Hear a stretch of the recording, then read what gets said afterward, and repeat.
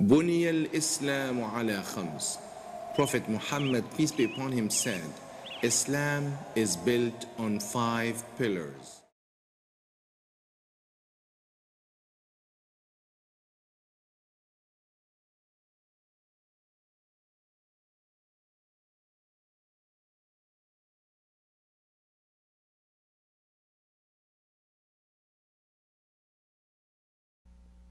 Assalamu alaikum wa rahmatullah. Peace and mercy of God be with you.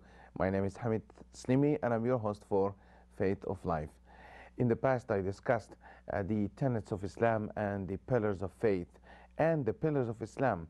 The pillars of faith meaning the what we believe in. The, and of course, they are the belief in God and belief in His angels and books and messengers, belief in life after death and the day of judgment, and belief in fate or destiny, whether good or bad.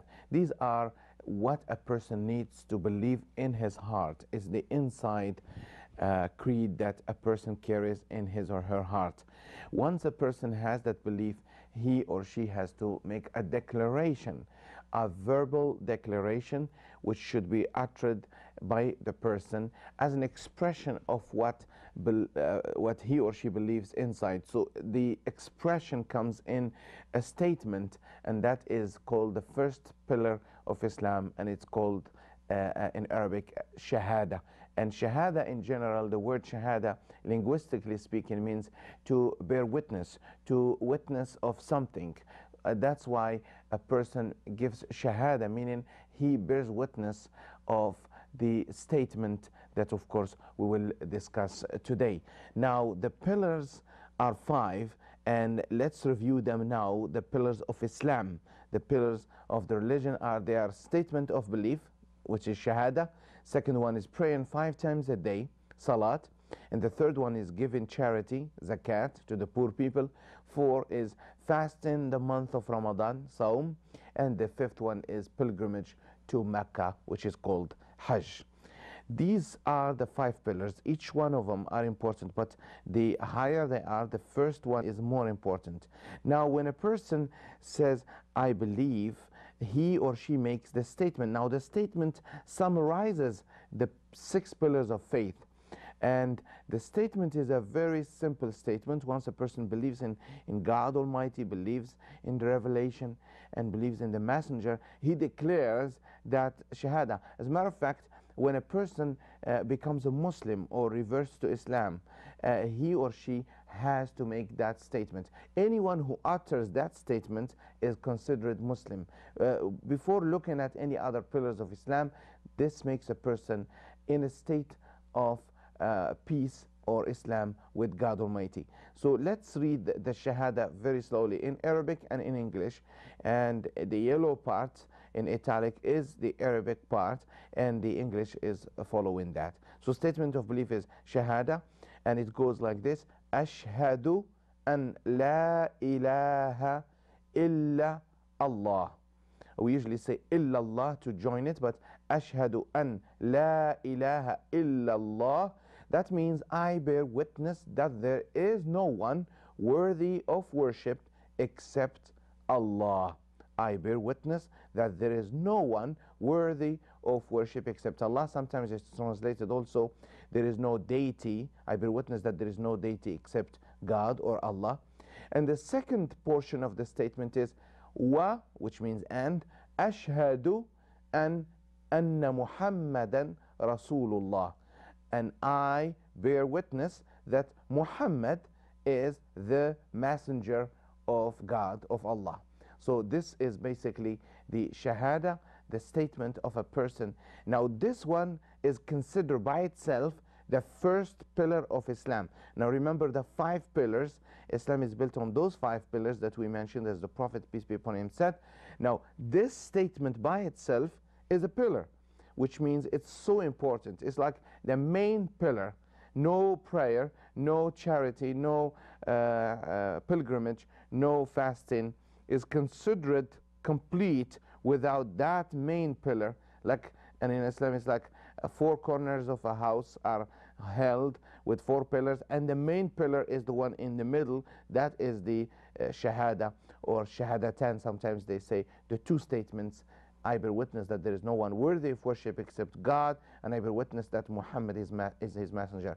For our non Muslim viewers, this is what Muslims believe necessary to be repeated. And actually, it's the most repeated statement of all the statements, and it is the most recommended statement to be repeated in the ears of a baby when he or she is born, and also it is the statement that a Muslim is required to say at the end of his or her life, or if he is unable, uh, the family or the relatives or the spouses or whoever is around that person should remind the person who is dying to say that statement before he or she dies. And that's why the Prophet, peace be upon him, said that you should say that before you die.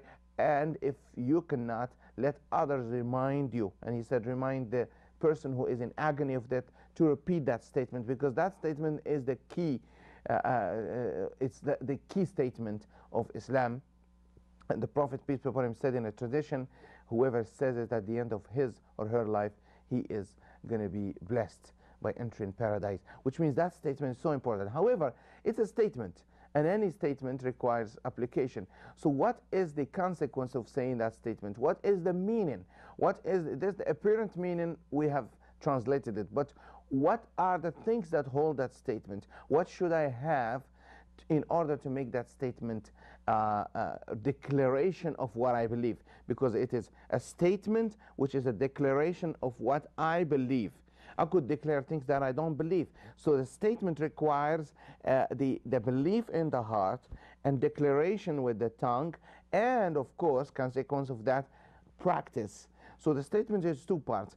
Uh, the first part is the, the, the, belief, and second part is practice. That's why. So we declare the oneness of God, and we declare Muhammad is his messenger. Let's see here the, uh, the meaning and the implication of the statement uh, I bear witness that there is no one worthy of worship except Allah. So no one is worthy of worship except Allah means number one, Tawheed. What is Tawheed? Tawheed is actually strict monotheism, to believe in the oneness of God. As Abraham, our father, Abraham uh, said in the Old Testament to uh, the nation, he said, uh, Our Lord is one and he declared it. And we read, of course, in the Torah and, of course, in the gospel, in the message of Jesus, peace be upon him, and in other parts of the Bible, as well as in the Quran, that the, all the prophets stressed this message that there is no one to be worshipped beside God. Only God to be worshipped, because worship is only to God. So the oneness of God, that is called Tawheed. And that actually, that is the most uh, uh, fundamental element of Islam. That the summary of all the prophets' missions is to remind people of their uh, relationship with God and to worship only one God. So that would be number one. Number two is ikhlas, sincerity and truthfulness in worship. Sincerity and truthfulness in worship. I'm using these Arabic words because they are also maybe in the Quran or the tradition of the Prophet. So when you see them, you understand the meaning of them. You will see them, they are the most repeated. Ikhlas is sincerity, to be sincere. When you declared it, you meant it with your heart and you meant that you will do it for God. The other thing is when I do my actions of goodness, when I give charity or I fast or I pray, I shouldn't do it so people can say, wow, he's good, he's pious, he's, he's uh, uh, a godly person. If I am looking for the praising of people, then I'm not sincere. When I do the work, when I teach, when I do anything, it should be dedicated for God, not for showing off, not to gain a title or to, for fame or celebrity, but should be only for God Almighty. That's why it's very important to be uh, uh, mukhlis. That's why God Almighty said they were not ordered to do anything but to worship God, even with little deeds, but with sincere hearts. What counts the most in Islam is how sincere you are. And we have chapter 112. Chapter 112. We have 114 chapters in the Holy Quran. Chapter 112 is a very short chapter. Most of the Muslims memorize it and it equals in reward when we recited third of the whole Quran.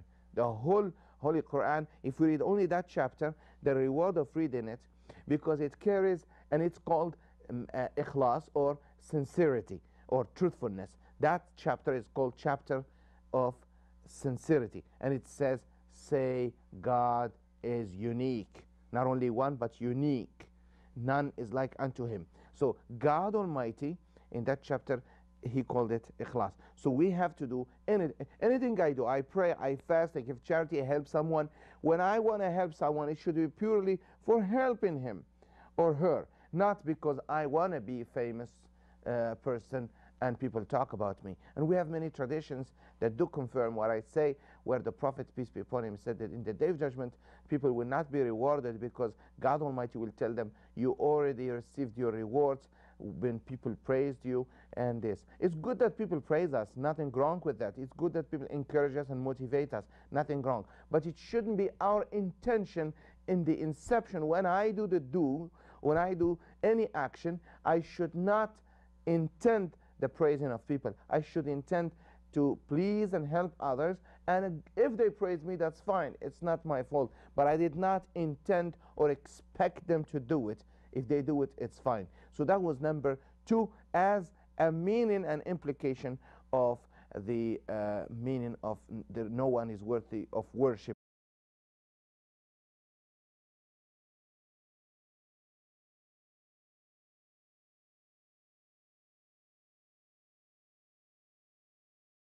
We're discussing the uh, main pillar or the first pillar of Islam uh, that is very fundamental for a person who practices the faith to understand not only the declaration but also the implication and the meaning of such declaration. So we have uh, so far covered uh, two of the meanings, two of the most fundamental meanings of the first portion of the statement and they were of course the uh, monotheism or tawheed and uh, the sincerity or ikhlas.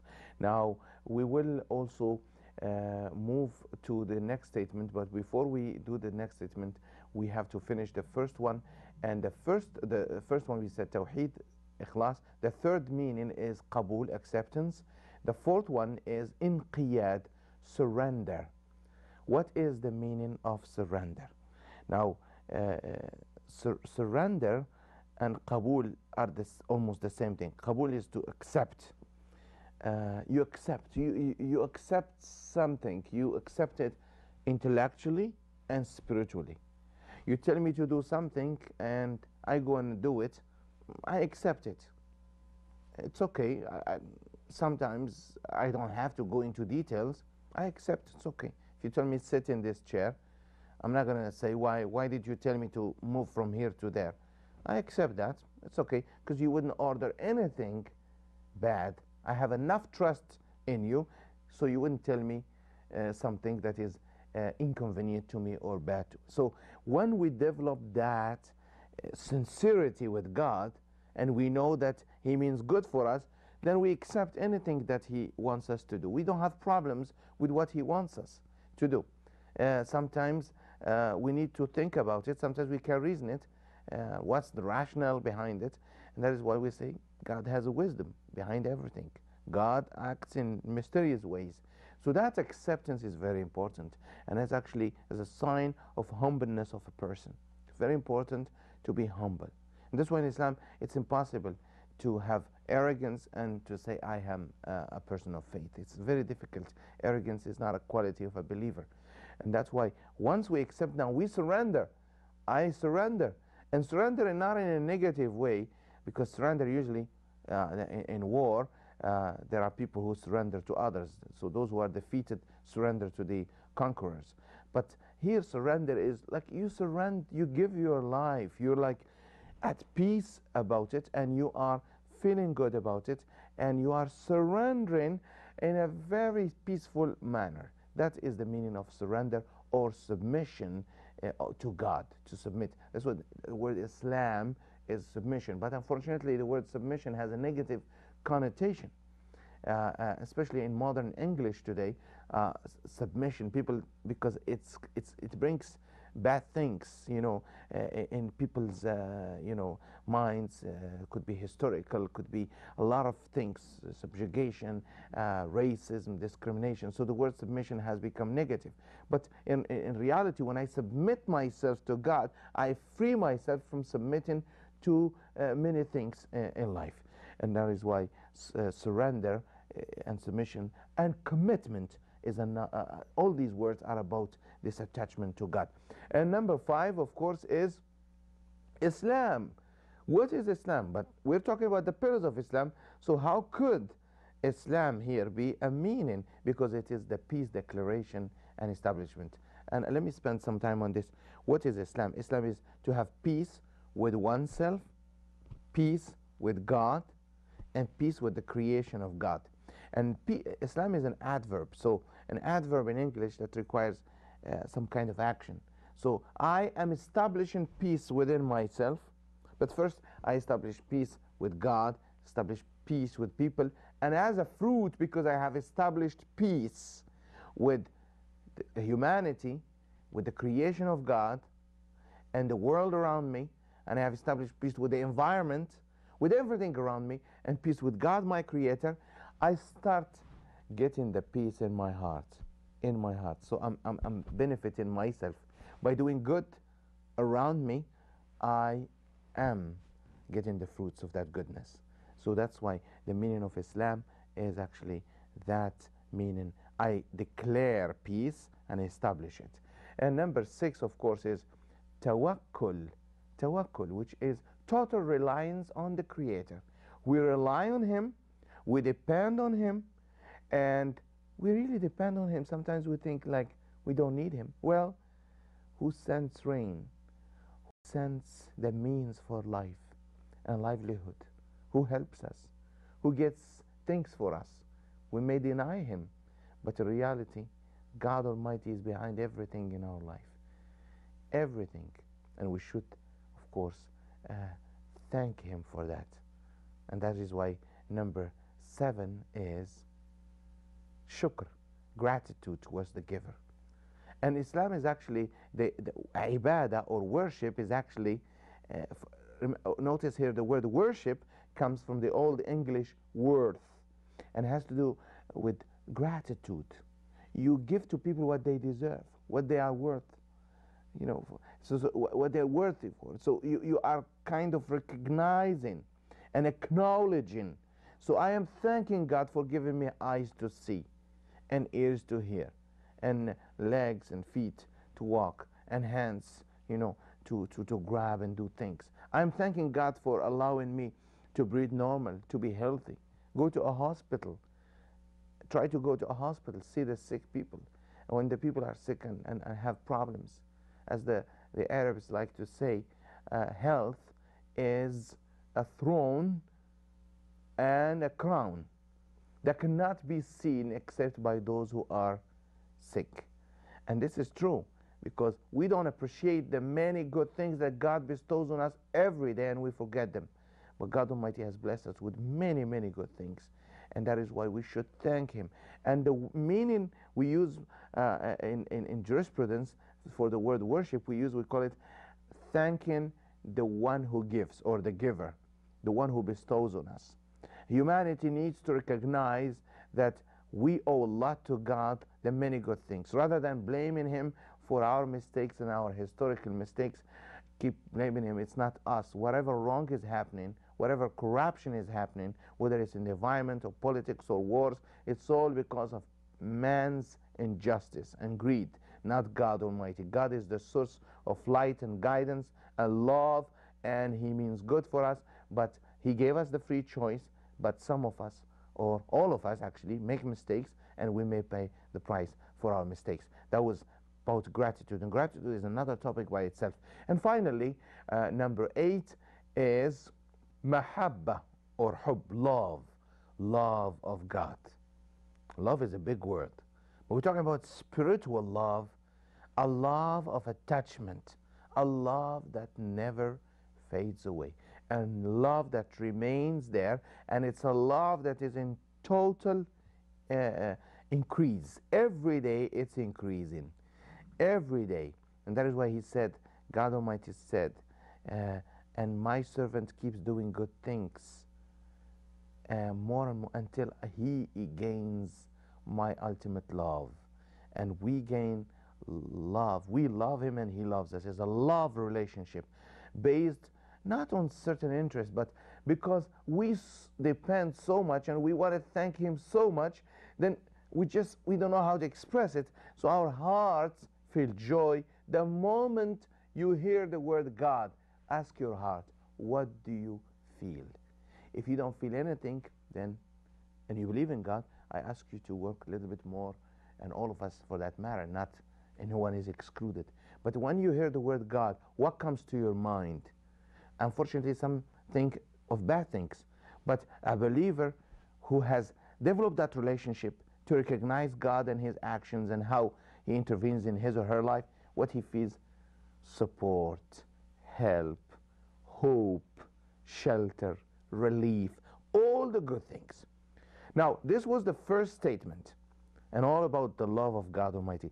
Uh, and, and, and the second portion of the statement is, as we see here, Muhammad is the messenger of Allah, meaning an implication of this.